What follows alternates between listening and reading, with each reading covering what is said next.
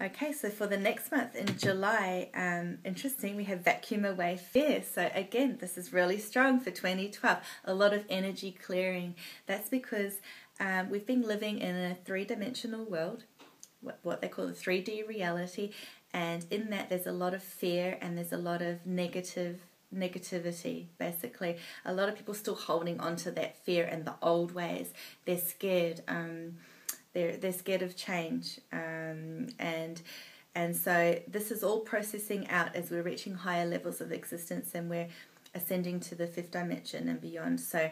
Um, vacuum away fear really um, represents again um, removing the negative energy and disassociating it from yourself. So you can call upon Archangel Michael, uh, also Raphael, to help you with that to lift away um, any fear based energies from you. Um, so I really encourage everybody to do these things daily, twice a day, morning and night. It's really important. You will notice a huge difference, and it's coming through so strongly. And I'm oh okay, I'm getting that it's also relating to our health, really, really strongly. Raphael's coming in to say um, that we have to protect our energies for our health as well. Oh, feeling this really strongly, and I'm also feeling it in my heart. Why is it in my heart?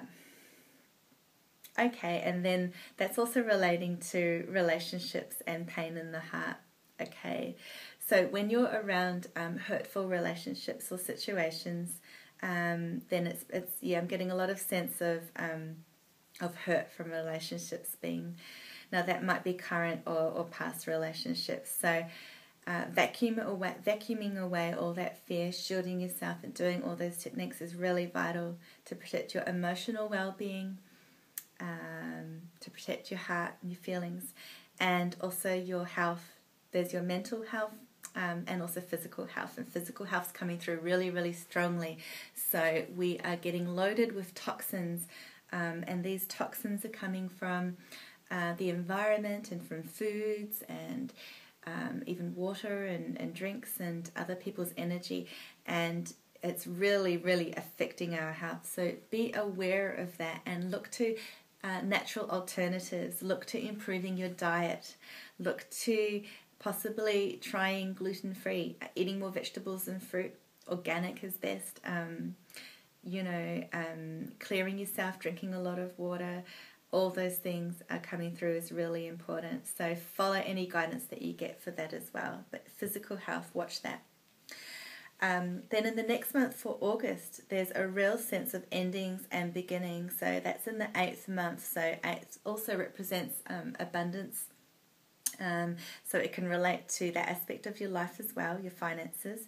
Um, but really, it's your whole life um, and everything leading up to then I'm getting. So for the first six months of the year, you're going through all these processes. You're coming out of your shell and you're releasing cutting cords, um, being aware of energy, protecting your health, and going back to your inner self and your wisdom. And that is leading to um, the end of the old ways and the beginning of the new. And this is on a universal level, but also for yourself personally the key message here is that the old needs to be released. Why does the old need to be released? Because um, the old needs to be released so that the new can enter. The new cannot be as new and fresh and wonderful if there's still old remnants hanging on. So, major theme get rid of the old remnants, work on that, make it a project, and um, and that way you will be more connected with yourself. Your intuition will open up like a flower um, and you will have that wisdom that you're seeking. There's really that connection again with the wisdom, and we have the inner wisdom and connecting with um, with higher wisdom as well and higher source.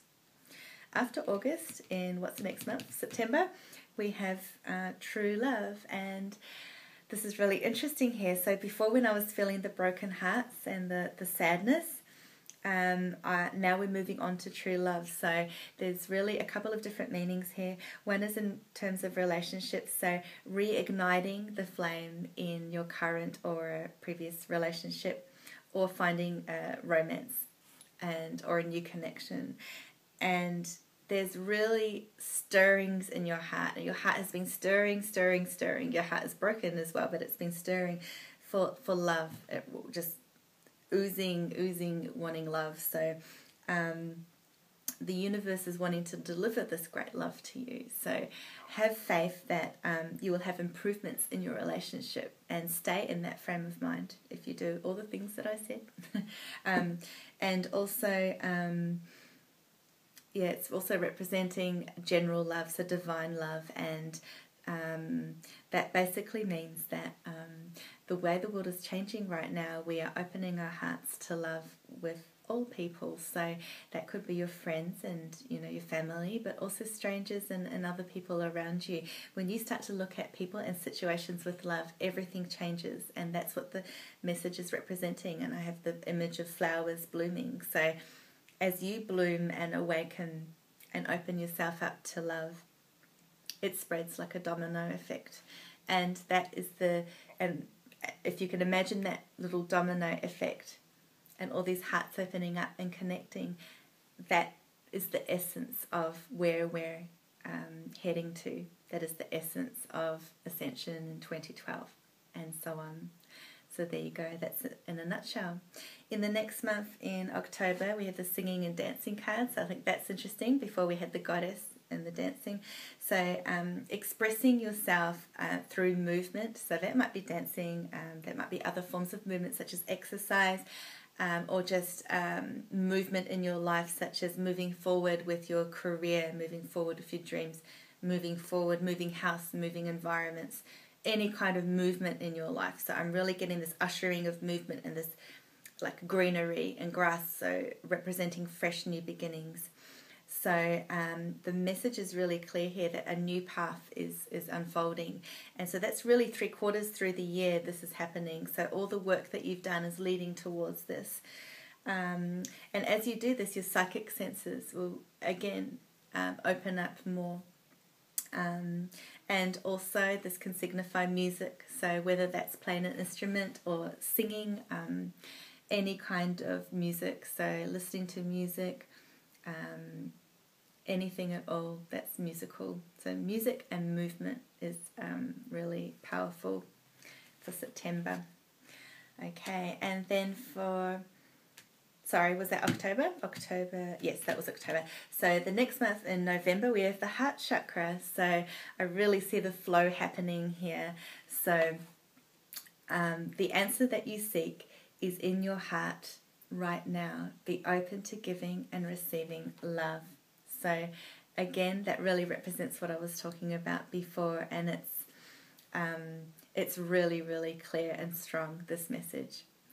Um, and the heart chakra also is the energy center in our heart. So um, again, that's a little sign to to work on clearing our heart chakra and knowing that it's safe to open up our hearts. Oh, and I feel so many of you have resistance. You don't want to open up your hearts, and fair enough, you've had um, pain and you've had um, you know, negative experiences and so on, and you've closed up your heart like this, but it's safe to open up your heart. It's safe to trust again. Okay.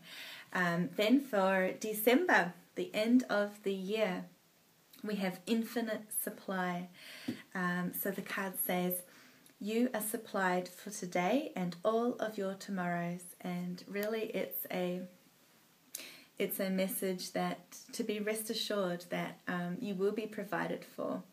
Um, you have nothing to worry about, nothing to fear. And that's a really apt message for December because, you know, there's all the talk of um, the 21st of the 12th of 2012 being a significant date. Um, so there is going to be a lot of fear energy around this year and leading up to it. So don't buy into the fear. Um, do all the spiritual work, work on yourself, open yourself up, and know that the universe will provide for you.